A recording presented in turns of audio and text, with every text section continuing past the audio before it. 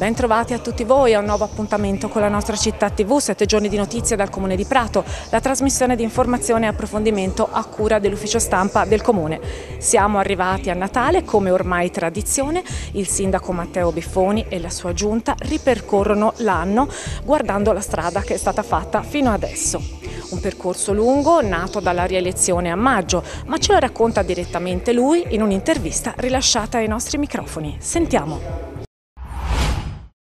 È un po' più facile il nuovo inizio perché hai la confidenza con una macchina molto complessa, molto difficile da manovrare, in cui per, investi in realtà. Il primo anno a capire esattamente come funziona, quali sono i meccanismi, perché per quanto io avessi diciamo,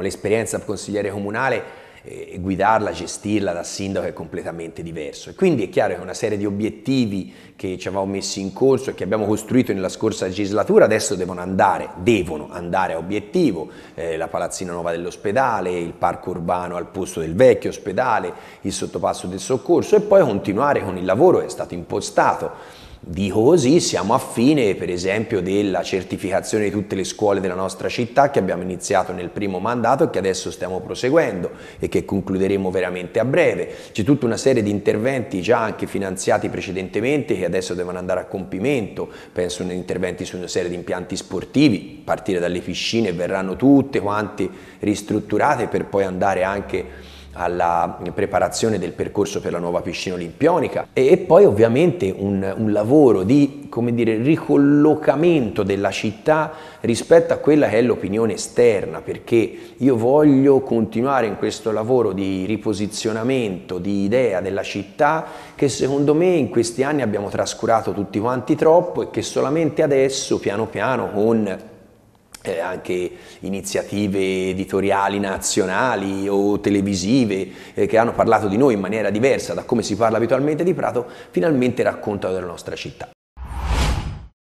Io vorrei l'immagine che secondo me poi è questa città, una città che corre molto, una città molto ener energica, una città che ha grande forza, che ha passato comunque vada eh, la crisi definitiva, devastante degli anni, d'età degli anni 2000, 2005, 2006, 2007, insomma quegli anni lì, comunque vada, non c'è stato il, il declino, siamo tornati ad essere il primo distretto tessile europeo, insomma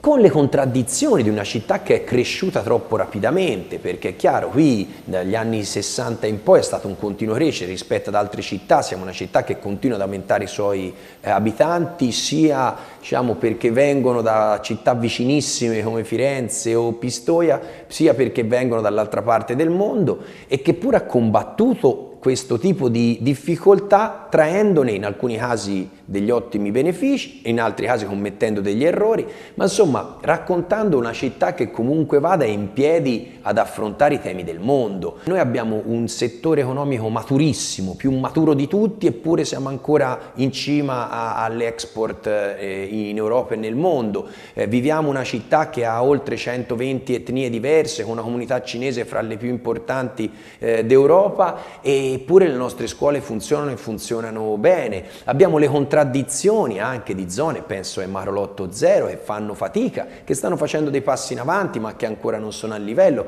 Però vorrei raccontare tutto questo, vorrei raccontare anche di una città che quando la gente la scopre, la viene a visitare, la viene a vedere, viene per i nostri spettacoli o per i nostri eventi culturali, va via soddisfatta, ci sta bene, ci esprime parole di apprezzamento. Ecco, mettere insieme tutto questo. Abbiamo probabilmente raccontato troppo le difficoltà che ripeto non vanno sottovalutate, abbiamo raccontato troppo poco e male invece quanto di bello e di positivo c'è in questa città. Io vorrei mettere insieme tutto questo e raccontarla al Paese.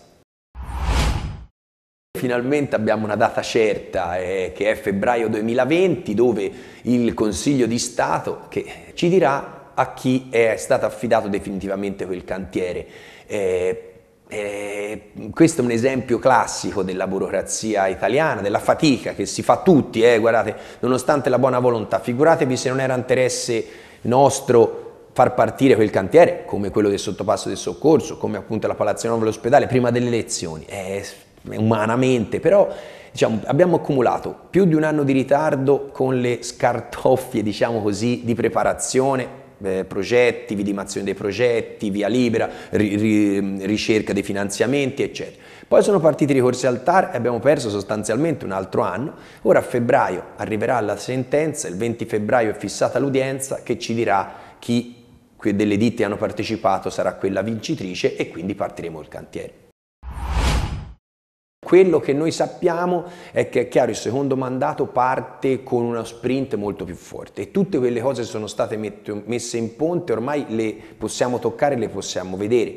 e questo ci permette anche con la tranquillità di sapere che le cose sono state messe in ponte arrivano di iniziare a programmare per i prossimi anni. Scuola, impiantistica sportiva, viabilità che è un tema che mi che ci tutti quanti coinvolge pesantemente, sono i temi, quindi significa il trasporto pubblico, significa i collegamenti con Firenze, significa tante cose, eh, sono i temi su cui noi bisogna necessariamente confrontarci in questi anni. C'è il grande tema del reuso, dell'economia circolare, su cui noi siamo molto avanti, che bisognerà sviluppare sia come attività amministrativa ma anche come attività economica con le nostre aziende, perché credo che lì noi ci si possa trovare davvero un pezzo di nuova attività.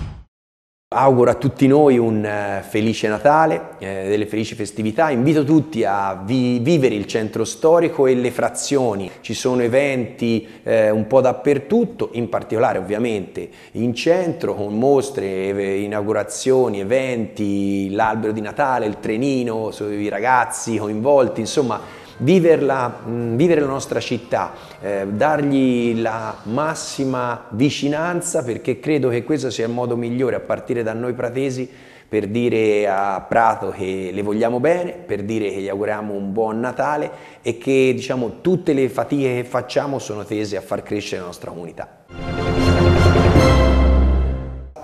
Con questo è tutto anche per oggi. Vi ringrazio della vostra attenzione e prima di lasciarvi agli altri programmi di Toscana TV vi auguro anche a nome della nostra redazione un buon Natale, un felice anno nuovo e la nostra città TV tornerà a farvi compagnia nel 2020. Arrivederci!